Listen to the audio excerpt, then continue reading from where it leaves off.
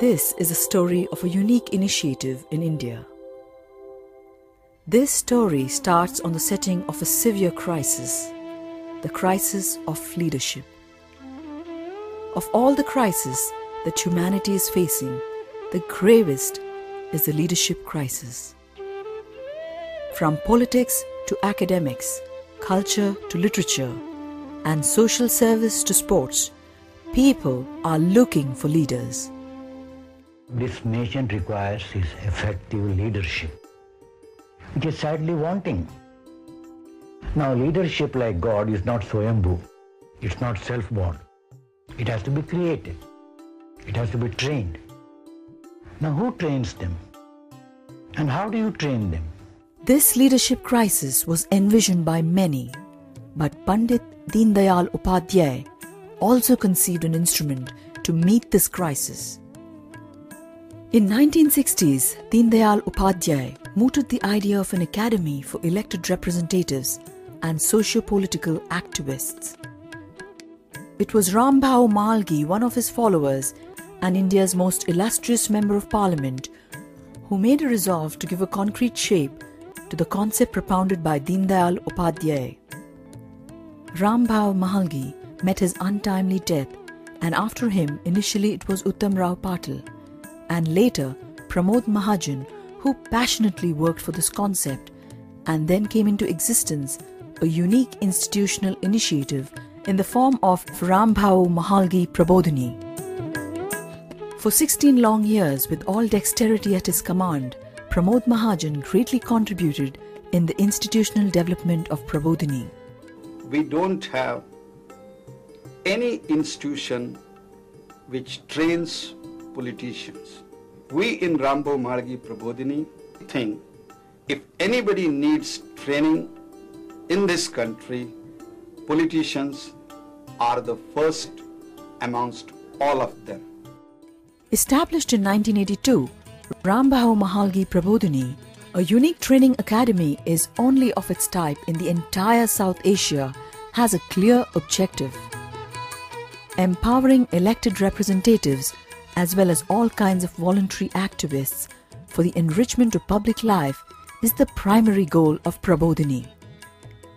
It is serving the cause of democracy by helping those who are electable beyond doubt to be capable of serving the electorate effectively. We are trying to convert those who are electable into able kind of leaders. We believe that Prabodhini is uh, a center, it's a hub, it's a laboratory where all kinds of leadership development experiments can take place, which will try and meet the challenges, the, all the emerging challenges in democratic governance. To achieve this goal, Prabodhini conducts capacity building programs, promotes field studies and research, and provides forum for exchange of ideas, debates, and discussions. Since its inception in 1982, Prabodhini has come a long way. On an average, Prabodhini conducts over 20 training programs in a typical year, and close to 2,500 participants take part in them. From ministers to Gram Panchayat members, Prabodhini offers training practically for all who make it to the public office. ग्राम पंचायत के अंदर जाने के बाद पक्षभेद बाहर रखना चाहिए गाँव के लिए गाँव की भलाई के लिए हम यहाँ इकट्ठा होना है इसके लिए हम जनता ने हमें निर्वाचित किया है ये मैंने ट्रेनिंग के बाद सीखा Through its Center for Institution Building and Leadership Studies, Prabodhini also tries to build the capacities of those who conduct schools, colleges, and universities. An independent cell working under Prabodhini looks into the capacity building needs of persons in cooperative banking. Prabodhini में विभिन्न प्रकार के कार्यक्रम होते हैं। कौन सा भी कार्यक्रम हो, हमारे लिए वो नया कार्यक्रम है, ऐसा ही हम सोचते हैं।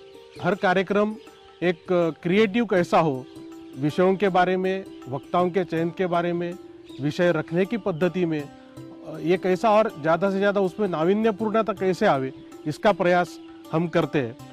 At Prabodhini, research is conducted mainly through field studies, surveys, and commissioned research projects. Prabodhini offers Vastav Darshan fellowships every year to young social activists and budding journalists. Issues like children dying of malnutrition in Maharashtra's Melghat region or the problem of beer bar girls in Mumbai have been effectively handled through short term field studies completed by young activists or journalists.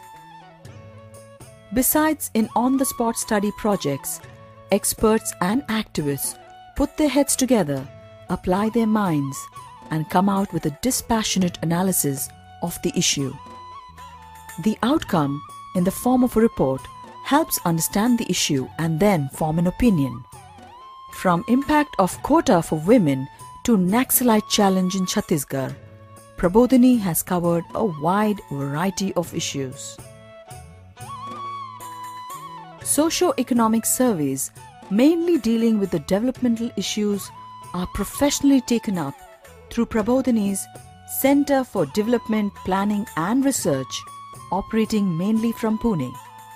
An unimpeachable track record of objective analysis, a strict adherence to the academic discipline, and a thoroughly professional approach towards the assignments are some of the main characteristics of this unit.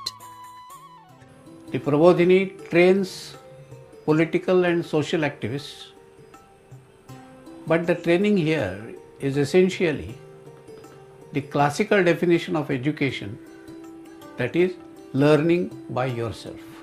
The Prabodhini does something with on the spot studies, and these on the spot studies are studies in depth and are the intellectual response of an activist to the challenges on the ground. Among the various dimensions of the activities of Prabodhini is the Center for Reference, Information and Documentation. This center functions as a fast, reliable, and economic system of collecting, sorting, and dissemination of relevant information on a daily basis. Research papers, official documents, thematic notes and dossiers, and seminar reports are occasionally published for the benefit of its subscribers, thus bridging the gap between current occurrences with future prospects.